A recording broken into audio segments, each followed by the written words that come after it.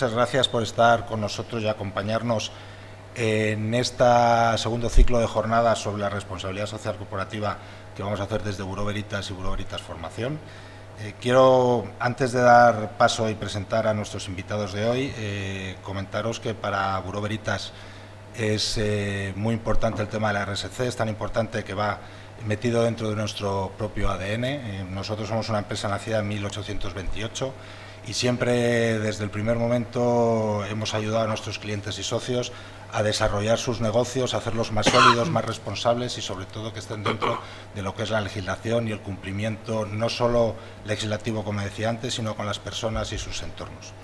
Nos acompañan en, este primer, en esta primera jornada eh, tres expertos comunicadores que además son expertos en responsabilidad social corporativa y tengo el gusto ahora mismo de presentaros. A mi derecha se encuentra Pablo Martín, es periodista, es desde hace seis años el director de MR Responsable en Madrid es vicesecretario de DIRSE, eh, tiene un programa superior en responsabilidad social por el Instituto de Empresa, es, no lo hemos comentado, pero es compañero de cole mío, yo también estudiaba ahí, sí. Y luego forma parte de la lista de top 250 RSE de personas más influyentes de la responsabilidad social de habla, España, de habla hispana. Perdón. Eh, buenos días, Pablo. Buenos días, Antonio. Eh, más a la derecha eh, está Carlos Martín, que también es periodista, es el editor y director de la revista Ciudad Sostenible y el director del Foro Técnico de Ciudades de IFEMA de Madrid. Es socio director de Agencia 2, que es una empresa que se dedica a proyectos de comunicación, sostenibilidad urbana y medio ambiente. Buenos días, Carlos. Hola, Carlos. Y por último, en la esquina, eh, está Esther, que es también periodista, posgrado en Community Manager por ESAD y por la Universidad de Barcelona y dirige la revista Compromiso Empresarial, tanto en el canal online como en el canal impreso. Y hay que reconocer que en este último tiempo, en el tema del canal online, eh, le ha dado una vuelta importante a Compromiso Empresarial, acercándolo mucho más a la necesidad del lector y de las personas interesadas por la responsabilidad social. Buenos días, Esther. Lo vamos a intentar hacer en un formato muy dinámico, vamos a poner encima de la mesa una serie de preguntas que yo quiero que mis invitados, que nuestros invitados nos contesten. Eh, lo podéis hacer en el orden que consideréis, eh, podéis interrumpiros lo que consideréis, eh, podéis hacer las apreciaciones, incluso si consideréis que hay que sacar preguntas nuevas encima de la mesa o aseveraciones o, cosas nuevas, estáis en vuestra casa y es vuestra mesa y por lo tanto nosotros estaremos encantados de poderlo hacer. Quiero primero comentaros cómo veis la RSC, en qué punto se encuentra y creéis que la comunicación en esta materia está en el mismo punto de desarrollo. Empezamos, Pablo, ¿por ti te parece? Me parece. Pues, eh, hombre, yo diría que, que la RSC eh, está en un momento, no quiero ser tan, tan optimista, pero sí que diría que, mm, eh, que dulce de, cambio, porque, bueno, pues por desgracia con la crisis se está demandando más transparencia a, a, todos los niveles, que afecta no solo a las empresas, sino a partidos políticos, universidades, medios de comunicación, instituciones, ONGs. Y, durante 2015, pues eh, yo creo que ha sido un, espaldarazo, un, refuerzo a, todo lo que se había avanzado durante los últimos 15 años en responsabilidad social, pues bueno, pues por diferentes eh, hechos que ha habido. En, febrero de 2015 se aprobó el Código de Buen Gobierno que llevaba la, RSC a los códigos de, a los consejos de administración de las empresas cotizadas, del IBEX, eh, de la Bolsa Española eh, se aprobaron los Objetivos de Desarrollo Sostenible por parte de, la, de Naciones Unidas en septiembre y se celebró la, cumbre de París en, en, diciembre con ese acuerdo de París para, para luchar contra el cambio climático a nivel global. Entonces yo creo que es un, eh, ha sido un, espaldarazo, un, refuerzo a, que el hacer las cosas en las organizaciones eh, atendiendo a los criterios de desarrollo sostenible son más que necesarios pues, a todos los niveles. Y este 2016 yo creo que pues, eh, va a haber también dos, bueno, pues, pues este impulso, se va a empezar a aplicar los, los ODS.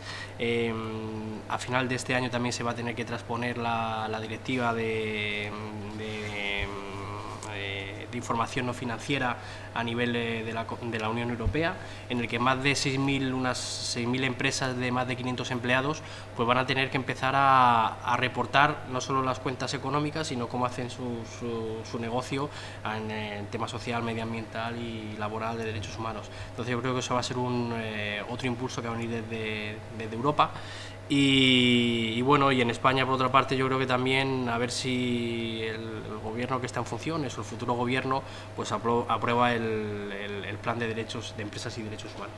yo creo que es un momento eh, bastante esperanzador para, para, que el desarrollo sostenible pues siga sentándose en la sociedad y, y llegue a toda la sociedad. ¿Tú, Carlos, cómo ves ahora mismo? Pues, eh, pues 100% de acuerdo con lo que ha comentado Pablo, que es muchísimo más experto y conocedor de estos, de estos temas, eh, ha mencionado los ODS que eh, de una manera indirecta, pero también directa, ¿por qué no?, están influyendo muchísimo en la respuesta de las empresas, y las, pero también las administraciones eh, públicas, de cara a la manera que tienen de relacionarse con sus grupos de interés. Esto de grupos de interés suena muy de empresa, cuando se habla de administraciones públicas se habla además de ciudadanía. ¿no? Y bueno, es un ámbito que nosotros tocamos especialmente y lo que sí estamos eh, notando es que, como bien decía Pablo, eh, corren nuevos tiempos respecto a la transparencia, no solo demandado por una ciudadanía quizás más, más exigente respecto a las cuentas públicas, sino que eh, también es un factor que, influye en el, hecho de que las nuevas tecnologías están permitiendo que se creen nuevos canales de, comunicación, de transparencia, lo que se ha venido a llamar esa nueva gobernanza.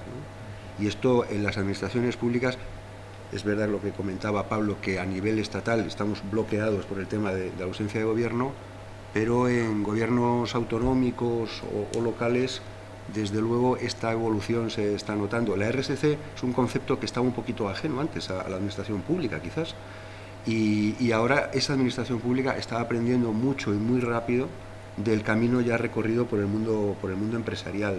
Entonces eh, ahí es donde los, los ODS yo creo que están marcando unas buenas, unas buenas pautas a nivel global. Mencionaba Pablo también eh, la COP, donde más allá del Acuerdo de París, que bueno, yo soy bastante crítico con él, pero es un paso adelante, pero lo, lo traigo a colación en el sentido del el papel que jugaron las empresas en, en París. Es decir, más allá del acuerdo entre Estados, las empresas estuvieron presentes y mucho, lo que demuestra un compromiso social, al menos en el ámbito de la sostenibilidad ambiental, muy, muy potente. ¿Tú, Esther, cómo ves ahora mismo el estado de la RSC? Bueno, por, por ubicar un poco como, como, la encuentro yo ahora, eh, quería echar un poco marcha atrás ¿no? y, pensar en cuanto cuando empezamos en compromiso empresarial a hablar de responsabilidad social, que hablábamos prácticamente de filantropía, de donaciones, de, cosas muy puntuales que hacían las empresas. Ese término ha ido evolucionando, evolucionando, igual que ha evolucionado la propia RSC, y ahora hablamos de, de valor compartido, de innovación social, de sostenibilidad, de, de compromiso social y yo creo que todo eso se ve reflejado en cómo es ahora mismo la responsabilidad social.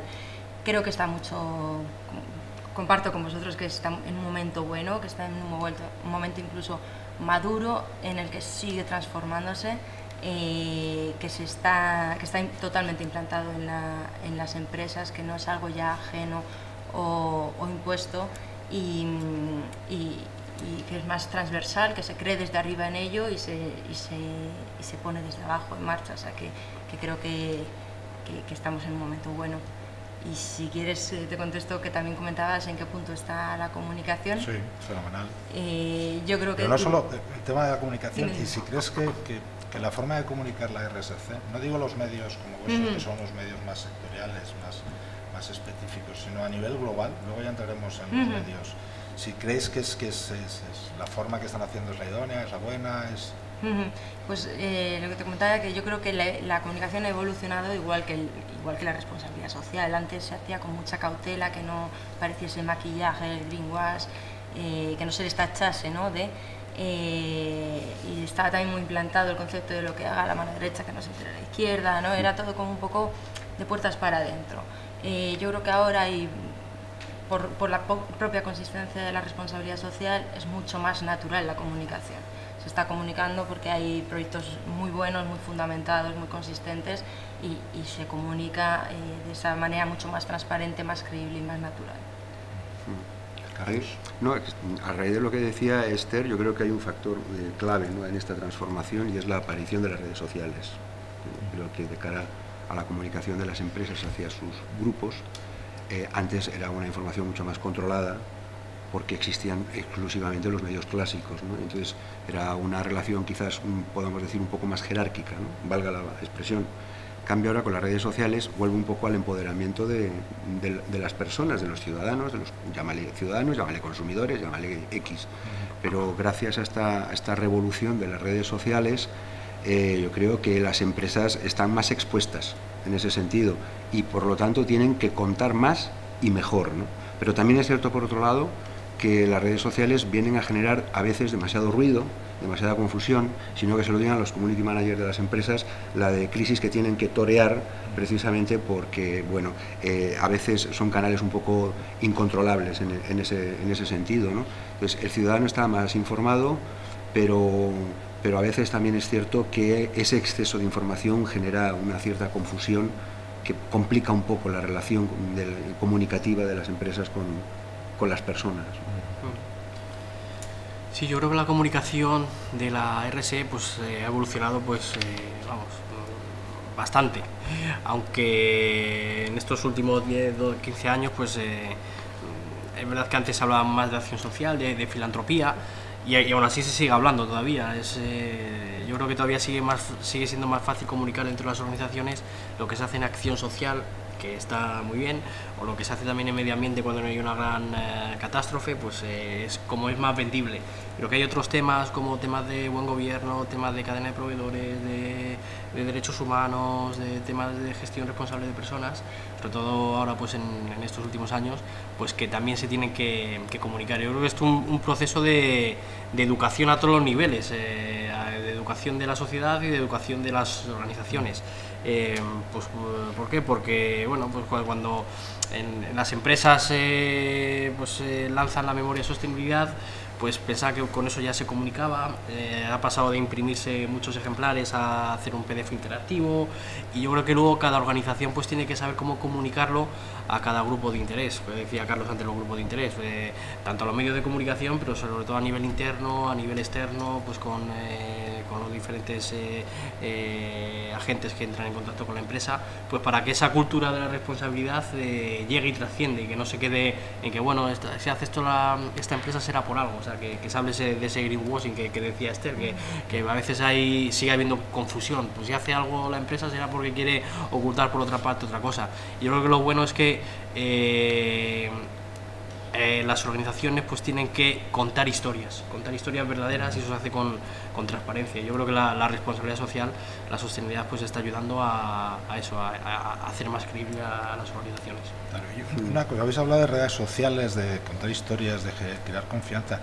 ¿Pensáis que eh, indudablemente ahora el, canal de las redes sociales, quizá en el tema de responsabilidad social y, de, digamos, entre comillas, el control, que se tiene sobre empresas e instituciones, incluida la administración pública, es el que parece que se está sobreponiendo, pero las redes sociales te permiten eh, contar esas historias de las empresas hacia el ciudadano. El ciudadano, el cliente está educado para saber escuchar en un contexto y no coger particularmente ciertas historias. ¿Cómo lo veis?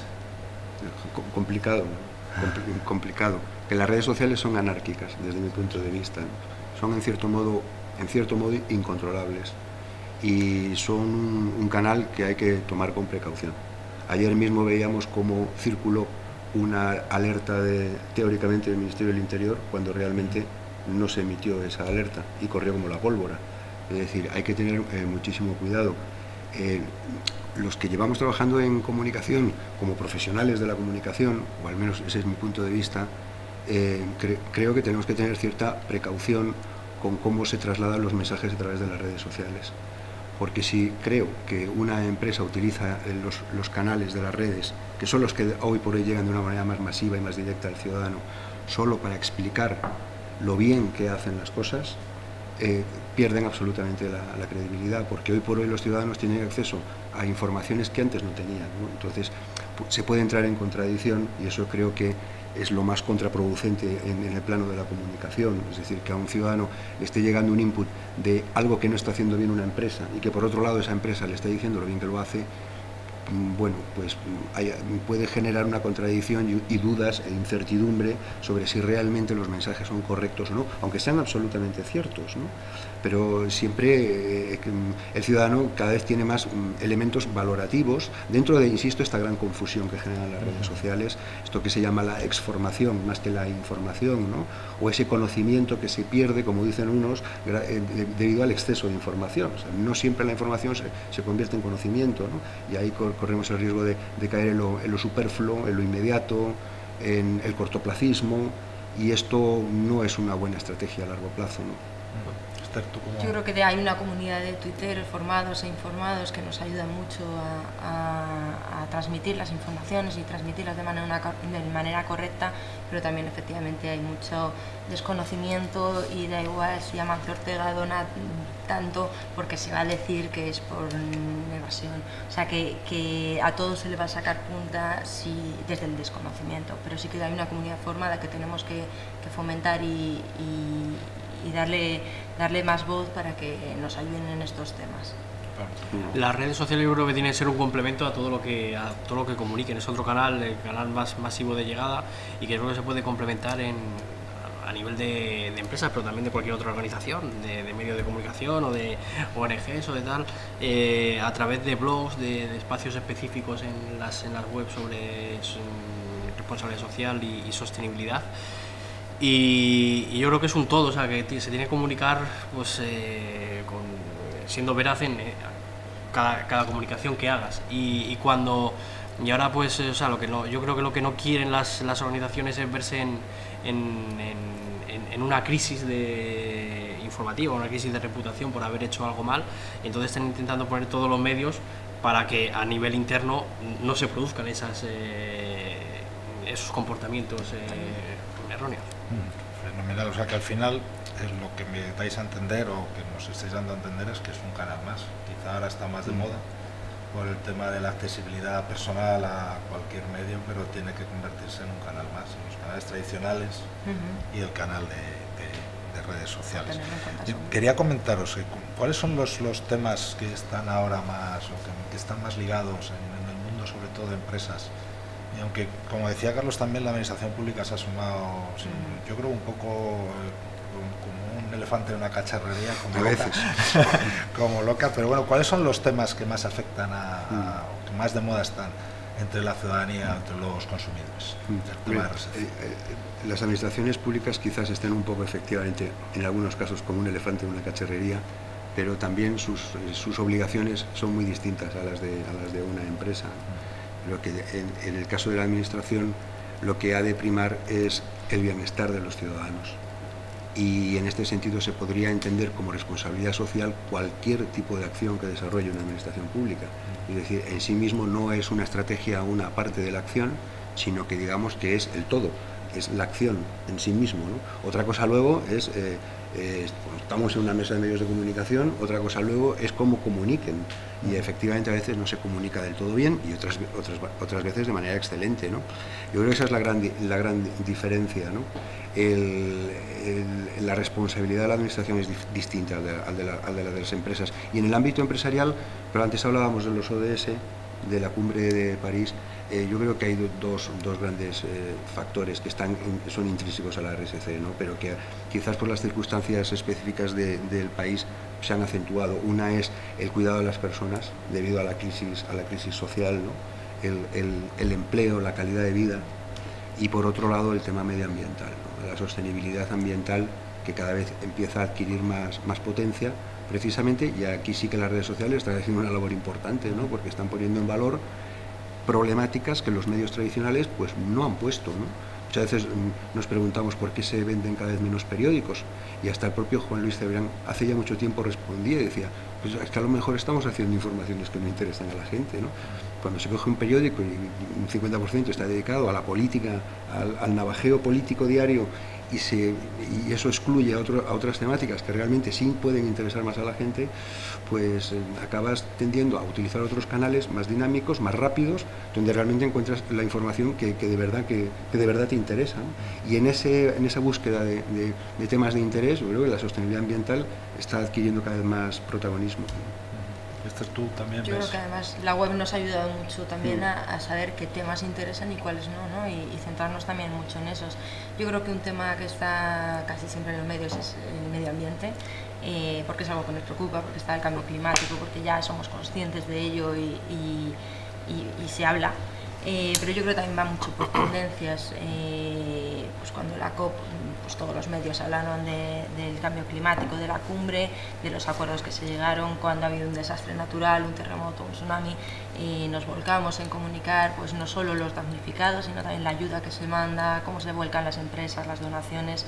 eh, y durante la crisis pues hemos hablado de recortes, de desahucios, eh, de todo lo que implica eh, para el bienestar de, de la gente y también de lo que han hecho las empresas por muchas veces fomentar el empleo y la reinserción. Eh, yo por destacar un tema que sí que estoy viendo que ahora está teniendo mucho interés es el de la responsabilidad fiscal de las empresas. Hace dos semanas, antes de Semana Santa, lanzó la Fundación Compromiso y Transparencia, que es la editora de la revista eh, que dirijo, eh, un informe sobre la responsabilidad social de las empresas del IBEX y, salió, se difundió mucho, ha tenido mucha repercusión en, los medios y es que todo esto afecta a- al estado de bienestar y al final lo que nos afecta a nosotros y a nuestro entorno es lo que interesa. Se está abordando mucho y el propio presidente de Mercadona cuando lanza, cuando presenta las cuentas de, de 2015 no habla de todos los beneficios que ha tenido, pero todo lo que más cerca de un millón y medio de euros de- de- de impuestos que ha pagado a España y que ha ingresado el fisco. Entonces es algo que se está dando mucha importancia desde los medios, desde las empresas y que también lo está reclamando el, ciudadano porque repercute en su propio bienestar. Y luego otro tema que también nos llama mucho la atención, que en la revista funciona muy bien, es el tema de la innovación social, todo lo que tenga que ver con, eh, con hacer algo innovador, eh, dar respuesta a un problema social, funciona muy bien. Lo vemos todos los años que publicamos las 10 mejores iniciativas de, tra- de innovación social y pues una de las noticias más leídas y más compartidas, que siguen funcionando. Pablo, porque este es el top 5 de, Bueno, yo creo que de los temas. mm, eh, la responsabilidad social tiene que, ayudar a, combatir también las, desigualdades y, crear sociedades mejores, que, para eso hay empresas y, esa es la función. La empresa no se entiende si no mejora la sociedad en, la que opera. Entonces, sobre esa, sobre esa base de lo que se ha hablado de lucha contra la, desigualdad, generación de empleo, impacto en el, en el terreno, yo creo que es, básico. Y a nivel de, de temas que, bueno, pues que están, que es eh, el medio ambiente, eh, hace 25 años casi nadie se hablaba, hablaba de medio ambiente, ni, no había ni medios especializados, ni en los medios generalistas hablaba, y ha habido una sensibilización pues, por el cambio climático, por desgracia, que pues, ha ido calando en la sociedad y, y todos estamos más o menos concienciados. Eh, y luego eh, yo iría pues, con, a nivel de transparencia de todas las, eh, las empresas, se les, va, se les va a demandar, hay un impulso de los temas de, de códigos éticos y de buen gobierno en las, eh, en las empresas, también eh, el tema de, o sea, con los objetivos de desarrollo sostenible yo creo que va a ser un, una apuesta para, mm, una oportunidad para las organizaciones para, mm, para comunicar que cómo intentan eh, crear un mundo mejor. Eh, la transparencia fiscal que decía Esther, porque claro, eh, pues cómo haces tus negocios y cómo pagas tus, eh, tus tributos en, los países en los que estás. Y uno fundamental que también pues en los últimos 4 o 5 años yo creo que está tomando mucho peso es el tema de los, eh, de los derechos humanos y de la cadena de proveedores. Eh, entendiendo los derechos humanos como cómo haces tus negocios no solo en el país de origen, sino en terceros países donde la legislación no es tan exhaustiva como en, países europeos o más occidentalizados. Y ahí, pues bueno, pues eh, eh, eh, afecta a todos los, sectores económicos. Y es pues eso, pues intentar que cuidar esa cadena de proveedores, eh, no emplear mano de obra infantil, eh, salarios dignos y, y por ahí pues eh, los derechos humanos van a ser eh, las empresas están han, han creado pues bastantes planes de derechos humanos bueno bastante algunas han, han creado planes de derechos humanos y, y como decía antes eh, a ver si el gobierno el futuro gobierno de, de España pues aprueba ese plan de empresas y derechos humanos pues para, para poner ese marco de, de legalidad en tema de, de respeto de las personas